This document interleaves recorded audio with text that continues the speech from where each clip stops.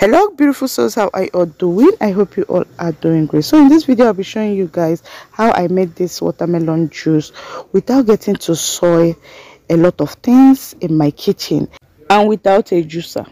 I'm the kind of person that don't like washing dishes yeah. As in i think is one of my worst chores. So i try my best not to mess things around when i want to do anything and guys i have a juicer in this house but washing it after using it is my biggest challenge. And for that reason i invented this way of making watermelon juice. So stick around and enjoy the rest of this video because at this point i won't be talking. I will let you guys watch what i'm doing. And please don't forget to hit the like button and also feel free to share this video okay? It's totally free my people okay? Thank you Thank you.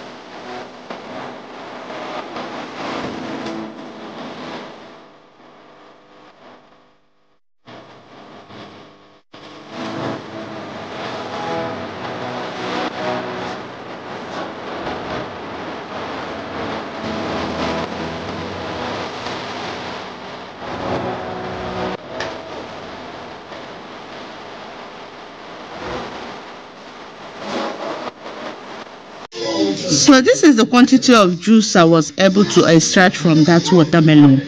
You all can see how easy it is to you know make this juice. Very easy. I did not get to soil a lot of things. Easy for me to wash out and clean up. Let me know your thought at the comment section. Bye guys